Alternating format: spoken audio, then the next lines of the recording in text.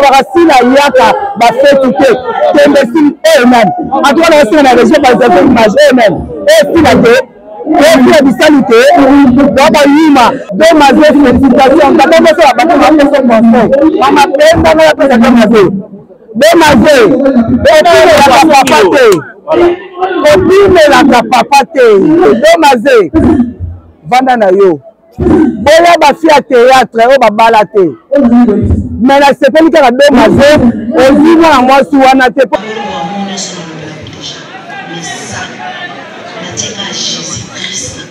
Ah oui. Ah oui. Yes, c'est ça. Je te mets ça dans le nom puissant de Jésus. Amen. Amen.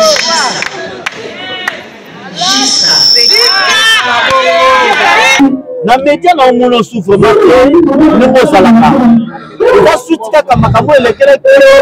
yo na moyindo yango wana pete esali kozongisa nsima to nde eh! batyelaki yo manduki bato nyonso baza bayima baa bayima bangoti ba batoro aloba na ye tika koyambaka papa elombe papa elombe azo maîtrise caméra te pourquoi oyambaka pepe pourquoi ezala nde mabe wana azaae mon amour mobali na nga okomero na mwasi elombe ah, na mwasi elombe naza mwasi elombe alobi boye naza mwasi ya elombe eh, wana akova lingala makambo nyonso obetaka betaka wana na biloko olobaka wana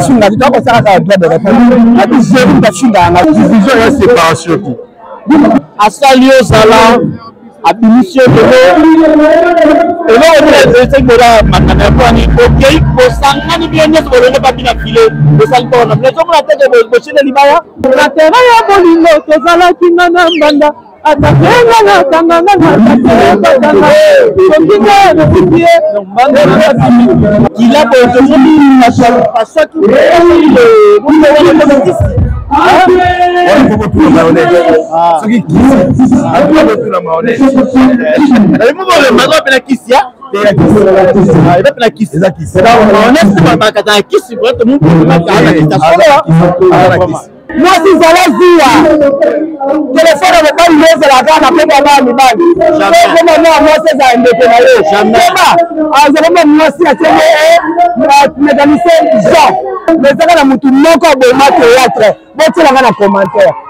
omela nini pardon diamba mama ivo ipa ivo ipa ivo ipa love is crazy love is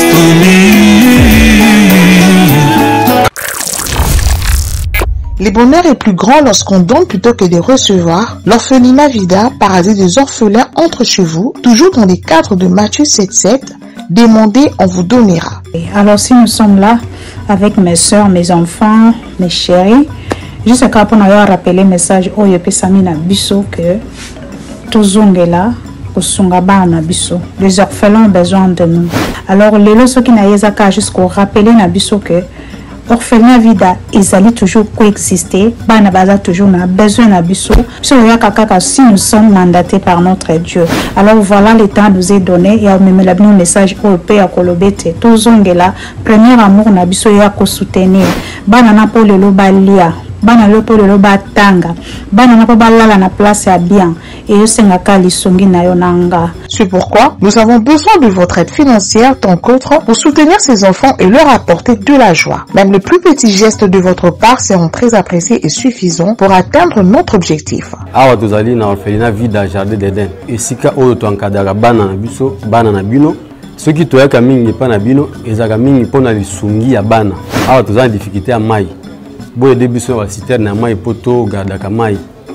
bana bazangi bambetu ya kolalela na bamatela biloko ya kolia boyebi keno bana baliaka chaque jour lokola bato nyonso bilamba ya kolata bakisi boyebi mpe bana bakendaka classe en tout cas botika biso te bosunga biso nous devons vraiment soutenir nos enfants c'est nous qui sommes leurs parents maintenant pour l'amour de Jésus-Christ, venez en aide, venez soutenir ces enfants, ne fût-ce qu'avec un dollar, 2 dollars, 3 dollars, 5 dollars, ça va changer la vie de ses enfants. C'est lui qui a pitié du pauvre, prête à l'éternel. So please, please donate today. Through your donation, no matter how big or small, can make a difference in this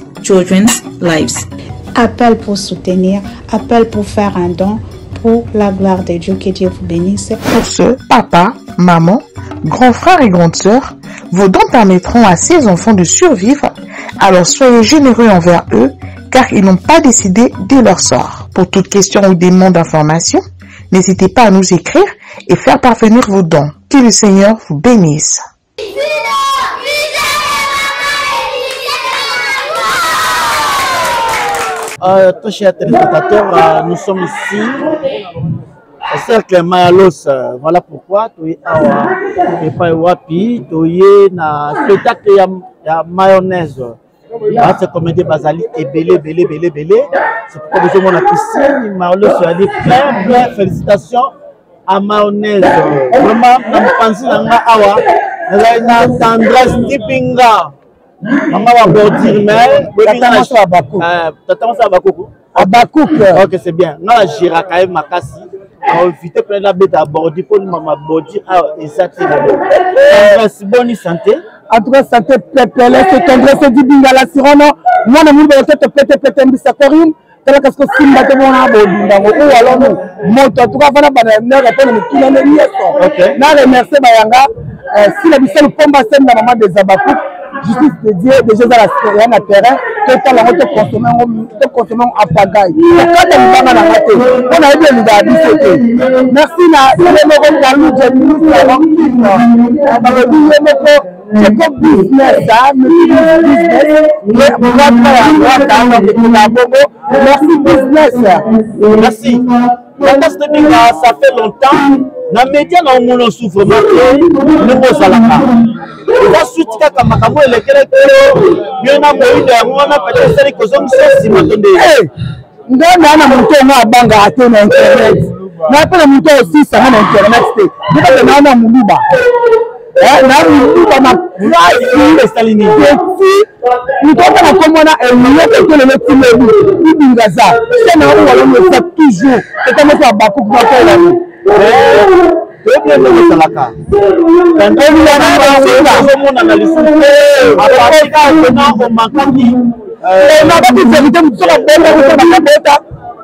onabaki verité moto abota tabota te oyo abota bota batyelaki manduki bato nyonso baza bayuma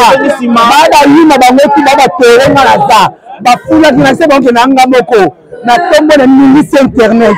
nake na ningisi tiktok nake na ningisi reseau sociaux tunaki nga moko bafulaki yo basali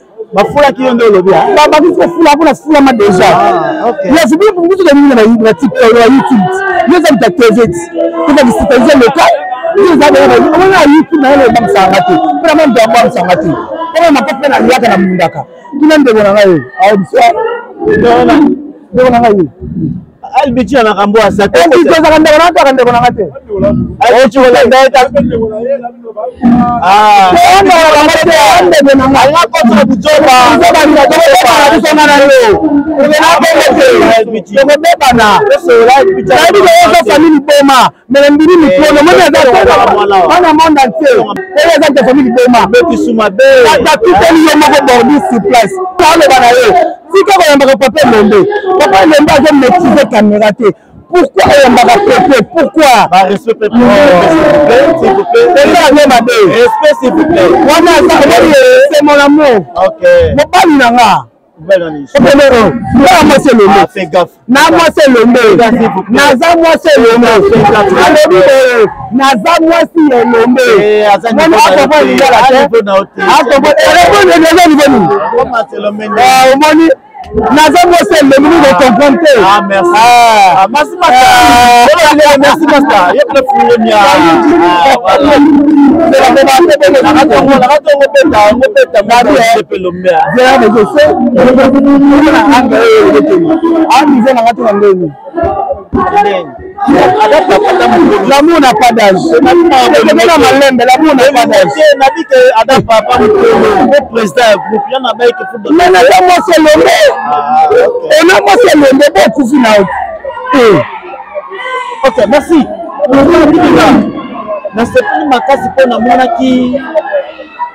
na mariage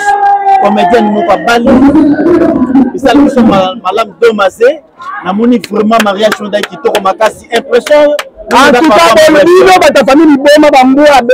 ya bafami liboma po bakasila yaka bafeti te tembe sili emen antuka nakasila na région baisation image emen esila te Merci à Bisalité, Baba Yuma, ayaki te, donc maze félicitations encore de plus. Comme il m'a dit que Gassimba qui parle un peu, il va dire ça, il est normal que Gassimba aille. Elle est la fin fin. Nalobi, natali koma mutu, kaka mona siye. ayo commentaire sala silinga mafinga finga na zemi seli yango ok gloire à dieu parce que nzambe amalamu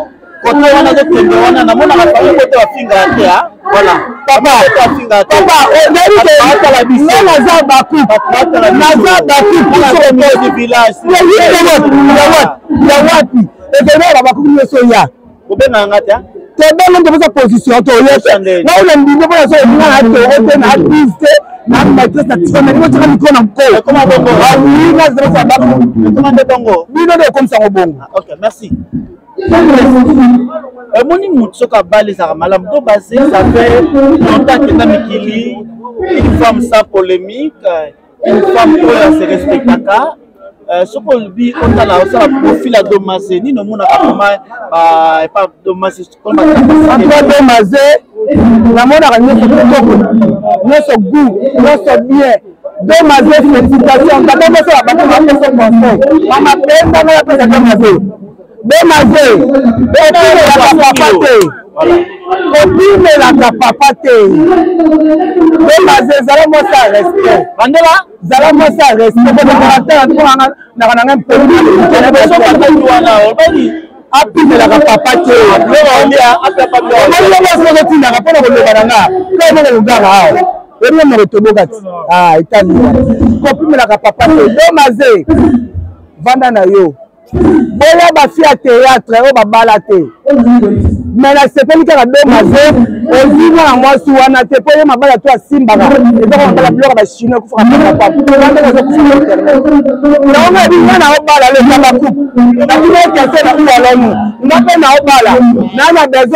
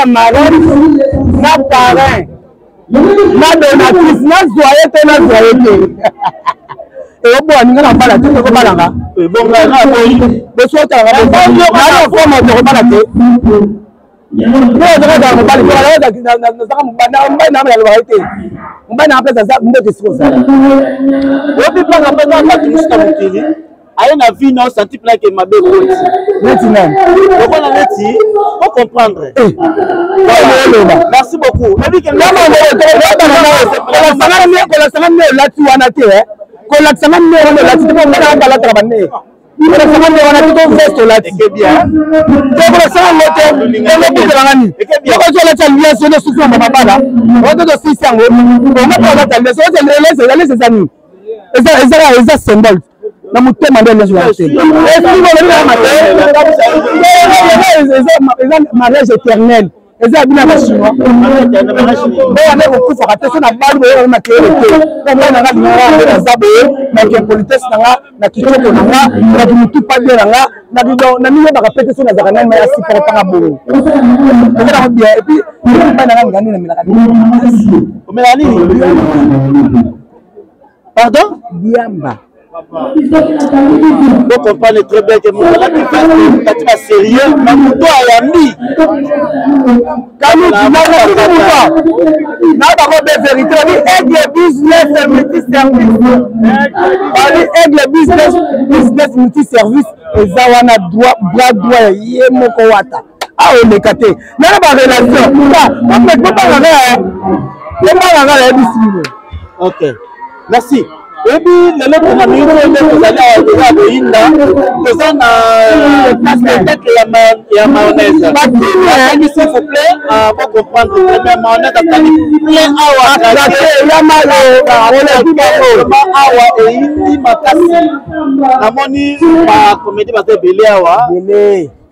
bafa l'artiste noir babi f génération eye mabe mpe tosala recrutement fa l'artiste noir groupe na f génération yo mpe yako joue esa eloko te tokipe te yoko yako jouebuzoba nini ya nini oko joue oko joue ozoka mobali na nga te azuya azuya mobali nanga lbg azuya mobali nanga mobali na ye vrema esi mobali nanga oyo nakomepetela nyonso mwasi akobosana ye bosimbele buteeomiyoanaandosolepembe na ye osanganaka na pamba molangi mutala bongo nga bongo te tanga sheri Tu sais, non, moi j'aime pas ça. Tendresse. Oyo mbeza, est-ce que tendresse? Na mona lelo. Soto ta yo pena ndo mona yo moko, tu peux être euh, exemple na génération ya lelo. Nzambe na ngai. Sikoyo nakozala exemplaire te pourquoi je manque quoi ou je suis comment ekomono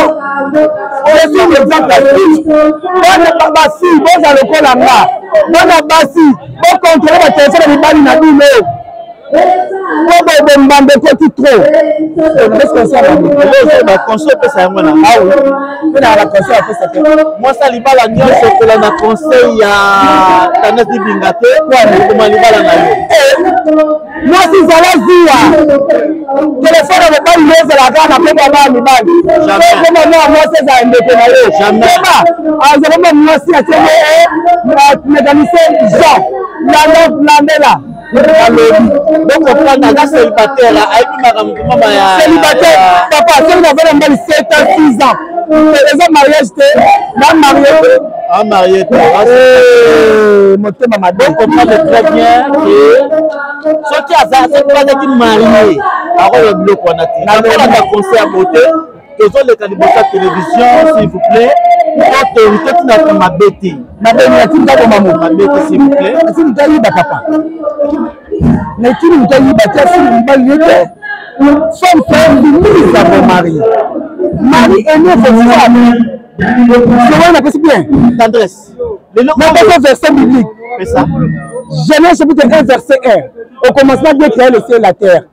na pososi mosusu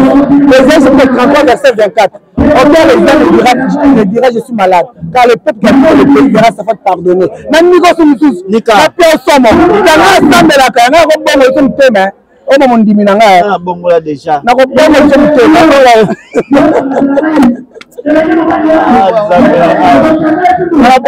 nabongisaka motema mpo na pengwa obela nini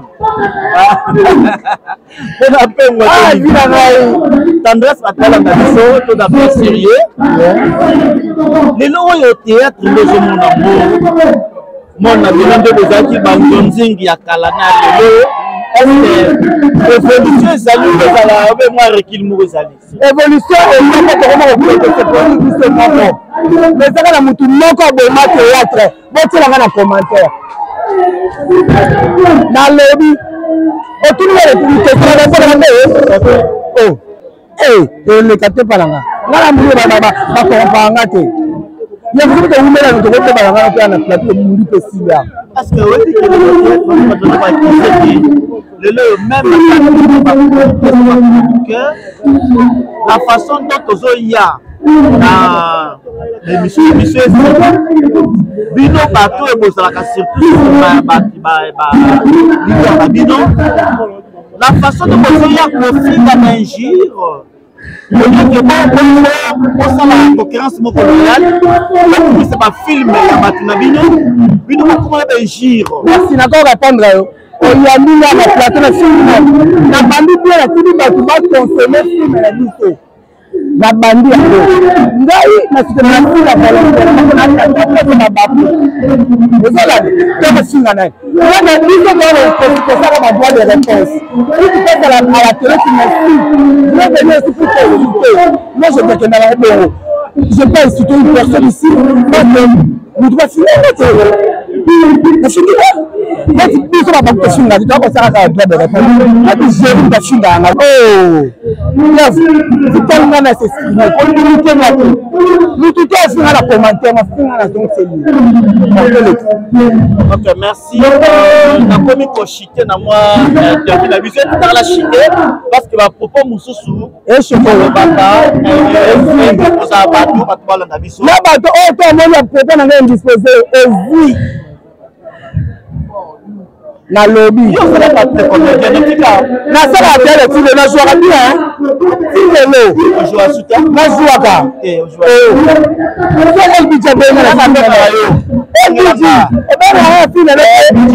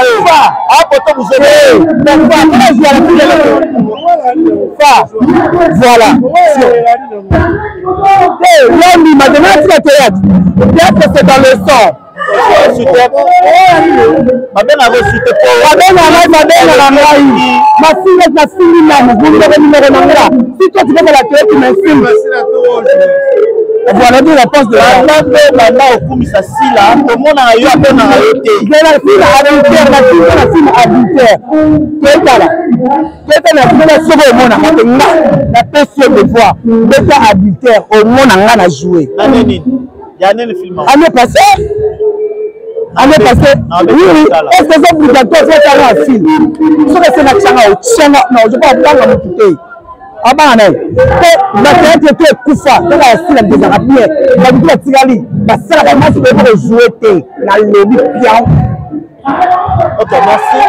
Ce que moi je suis curieux, ezali que na bamisala na bino kosala surtout bokumisaka bafilme ya bato na bino papa ozo rape nabi e nakotokotaba nayelobama te nakotrefisa yango te eske nabandi ye nasali promotion te ya filme te jisi te dietele te nalobi elobandi to filme ete bandi na filme nani mpo na santak yo komotaka bakoma bato ozali na ataka komo ezala mwana nga te ataka komo na ye oma kobokola zali na ndako na nga na kitambo elo eh, misi lbg mwana nzambe ah. okota te zeli akonda wapi oyebaka zeli zeli akalite ye leke na soin yo baka oyebi ke zeli aza na mpana na bokoli ete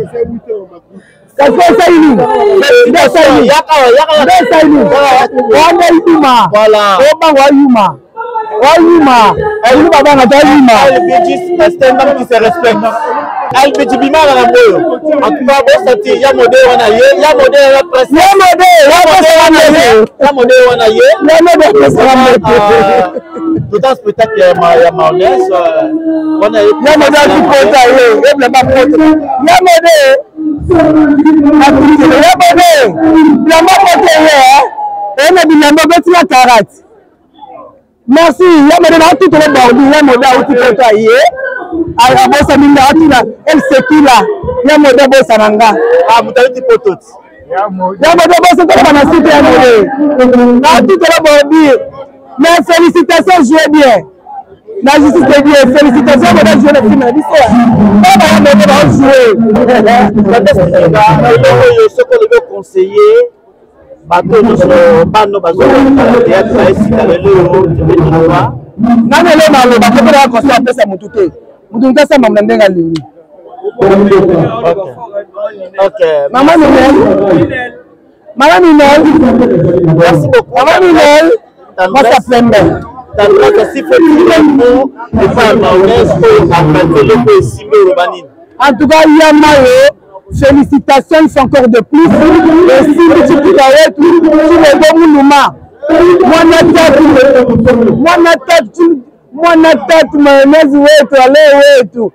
boye nde ezalaka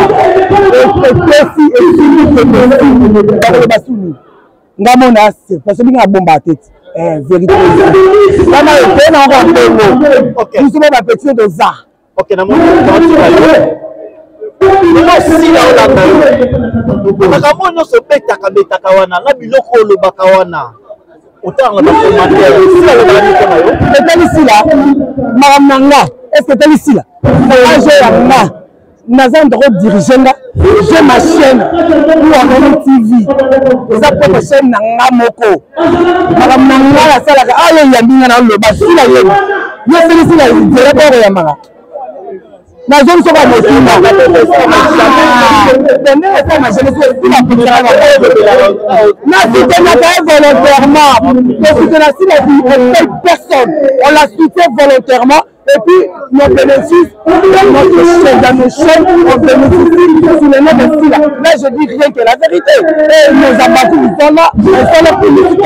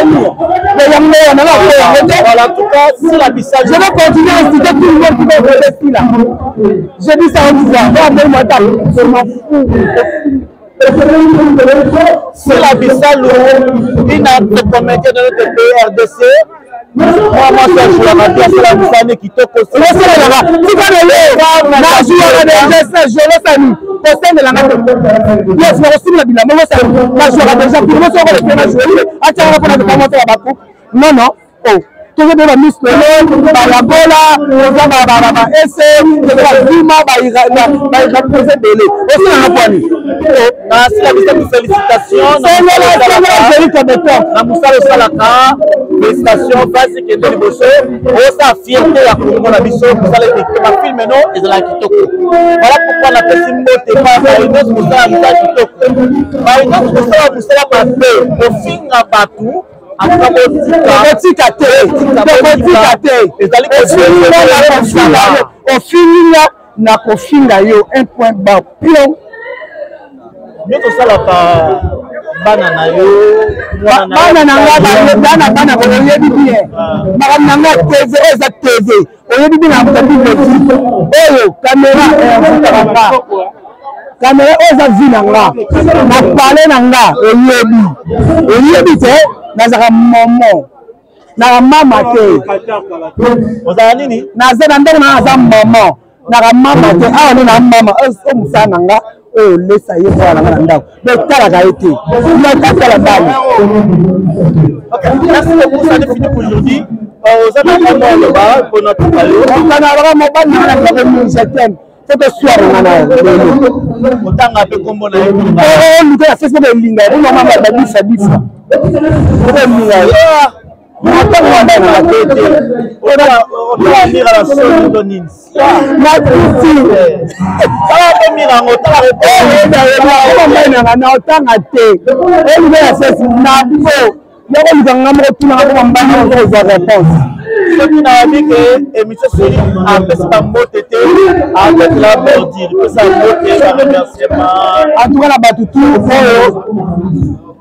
ekokaka na bato tout oyo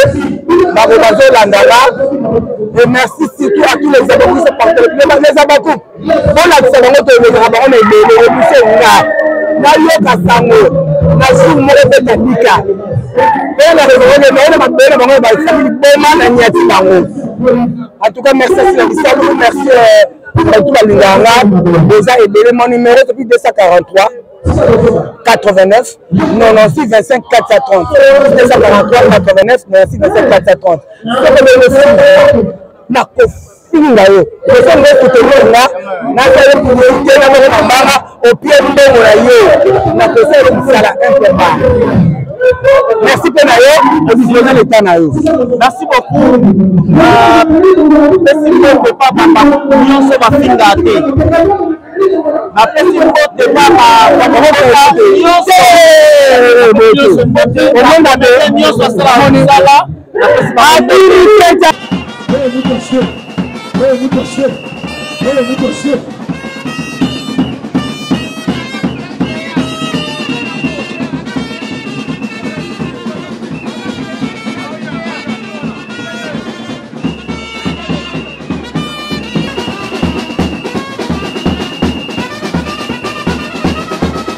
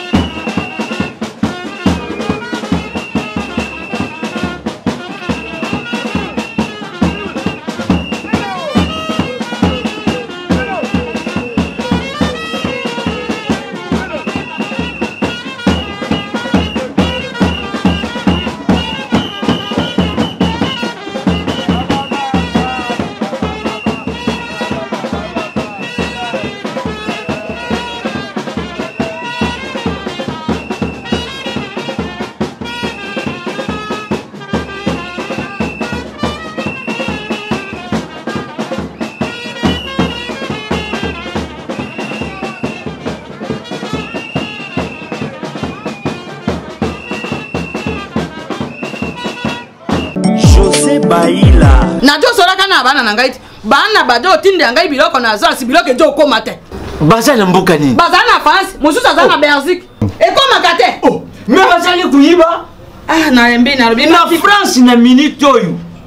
agence ya sir sir eza moko na france lokola bango baza na france agence na france eza na reine précisément na reine jb service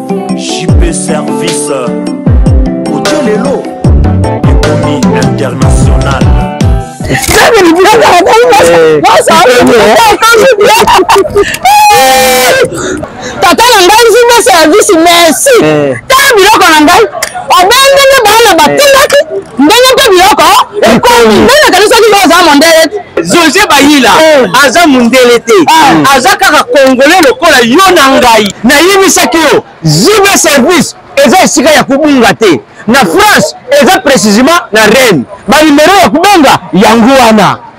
oza komona awa na kinshasa eza na saint therese na nzile soko kaka moto akomi na saint therese na nsima ya station directement soko atali kaka boyi mbala moko jibe service epai ya josé bayila en plus eza kaka na kishasha te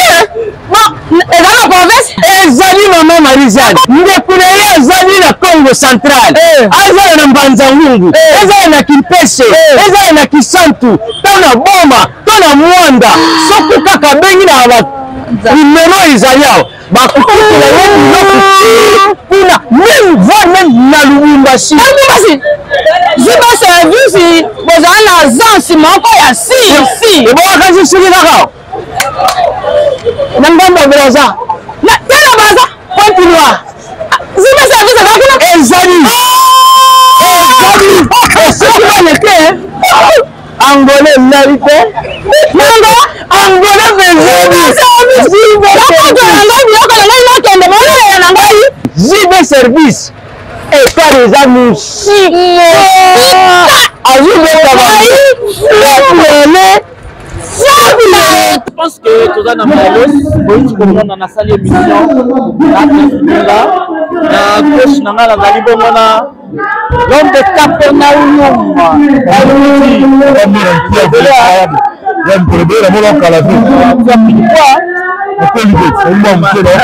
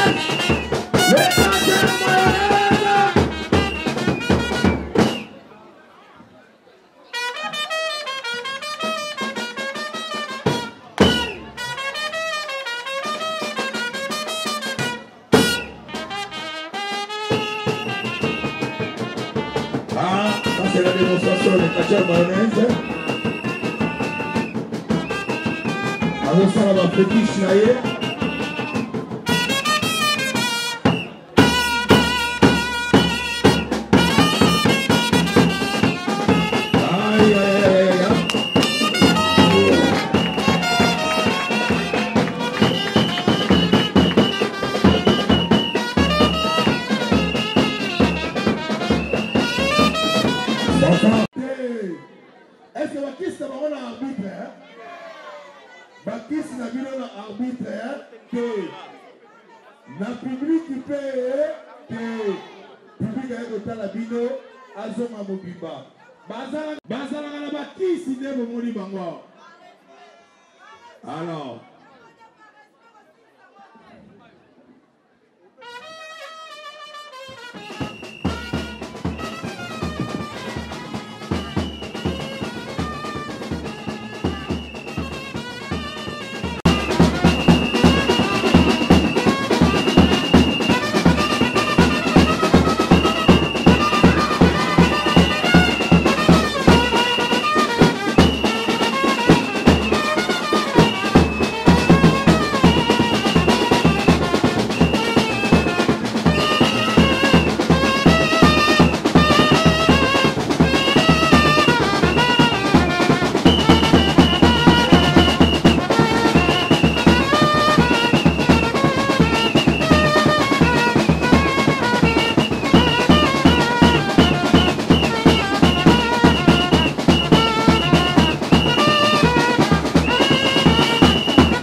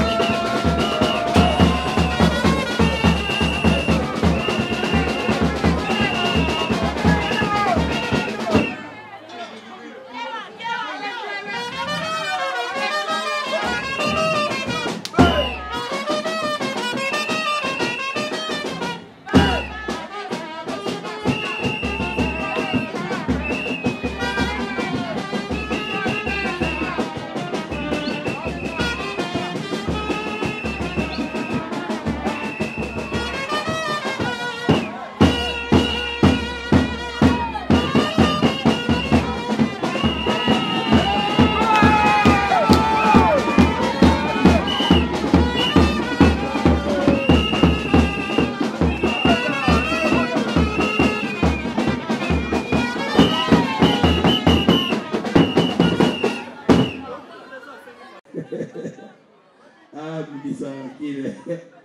ngayanga linosa eutaka koto mère ya petit bindi mère wana mama bokoto tabita quartier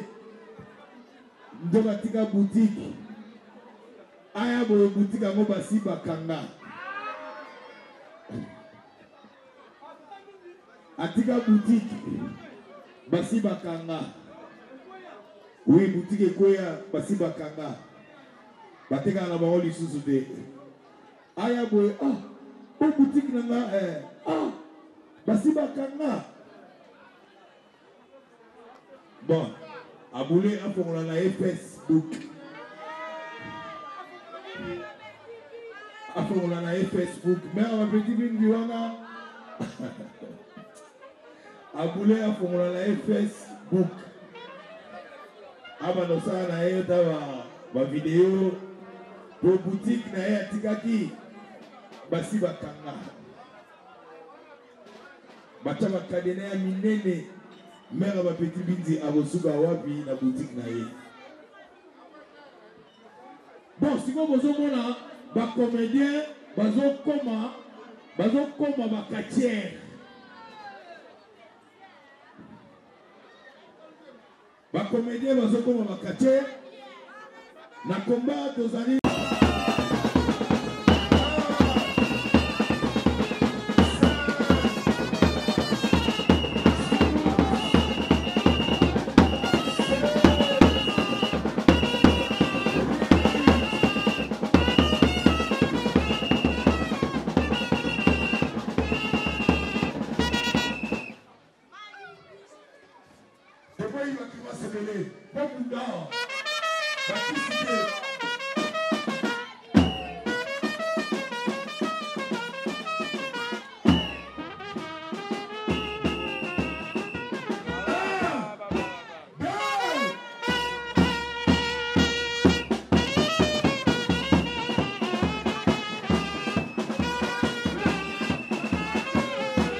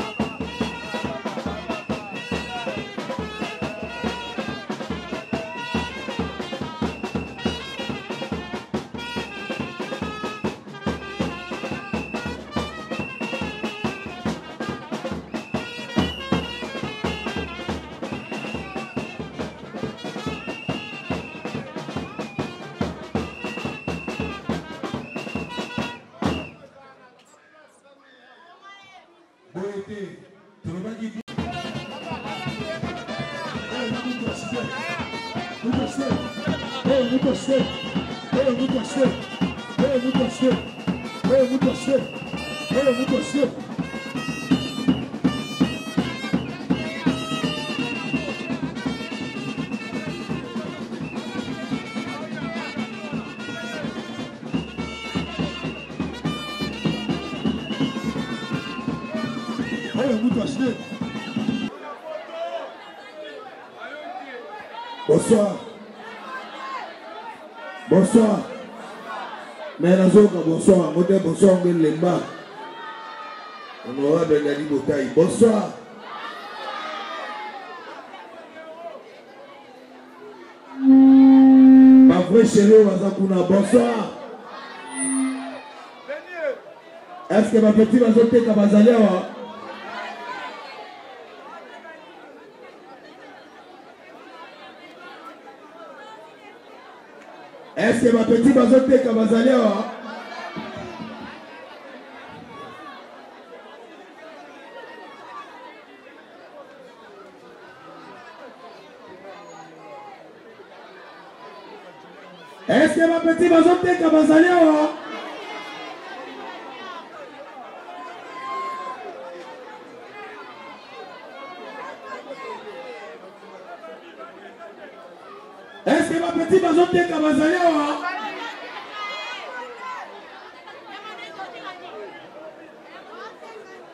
Soki ba petit bazo teka bazali ba tombola maboko.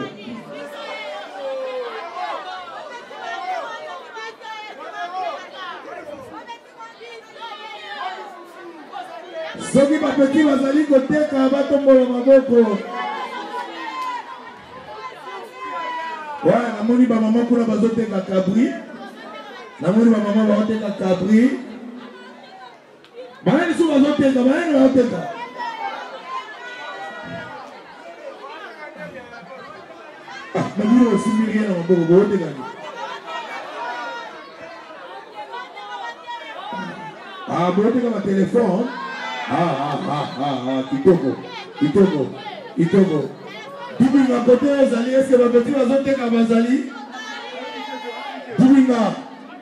Kote oyo ozali wana bapeti bazoteka bazali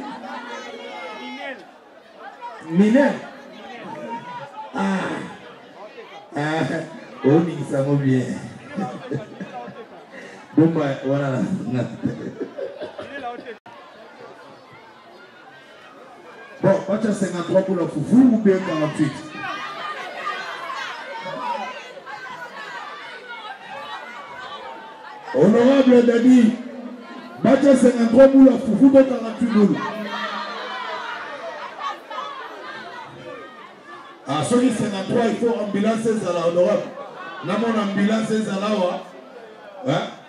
oyo alingi nalia 53 bula fufu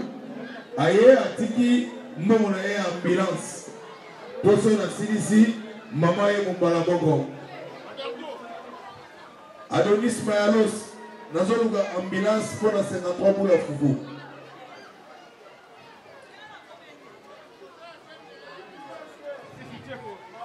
Fils et Tcheko,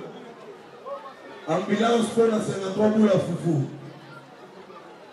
Fils et Tcheko. Mère ayaki lobi,